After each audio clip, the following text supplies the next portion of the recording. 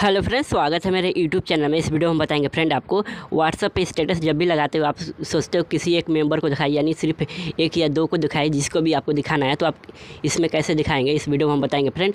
आप सबसे छोटी सी रिक्वेस्ट है फ्रेंड, अभी तक हमारे वीडियो को लाइक नहीं किया तो वीडियो को लाइक कीजिए और चैनल पर पहली बार आए हो तो चैनल को आप सब्सक्राइब कीजिए। व्हाट्सअप स्टेटस आप जिसको चाहे उसी को कैसे दिखाओगे, ये एक कोई पर्सन को आप कैसे दिखाओगे? सबसे पहले अपना व्हाट्सअप को ओपन कर लेना आपको। ओपन करने के बाद आपको इस तरह का इंटरफेस हो रहा है आपको मोबाइल स्क्रीन में फ्रेंड ऊपर की तरफ़ राइट साइड आपको थ्री डॉट का ऑप्शन दिख रहा होगा, इस पर आप क्लिक कर लीजिए।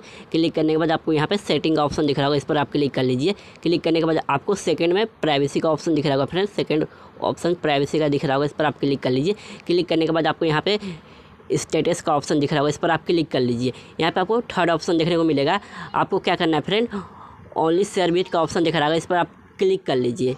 इस पर आप क्लिक कर लीजिए। क्लिक करने के बाद आप जिस जिस भी को, जिस मेंबर को आप दिखाना चाहते हैं, एक दो को, जिसको आप फ्रेंड हो या फैमिली मेंबर हो, उनको एक दो को दिखाना चाहते हो तो यहाँ पर ऐसा टिक मार्क कर लेना फ्रेंड टिक मार्क करके यहाँ पे साइन वाला आइकन पर क्लिक कर देना है। आप जब भी अपने व्हाट्सएप पे स्टेटस लगाओगे, जिस पे टिक लगाए हो, वही देखेंगे आपका स्टेटस और जितने भी कॉन्टेक्ट में है, कोई नहीं देखेगा आपका स्टेटस वीडियो अच्छा लगा तो वीडियो को लाइक कीजिए और चैनल पहली बार आओ चैनल को आप सब्सक्राइब कीजिए।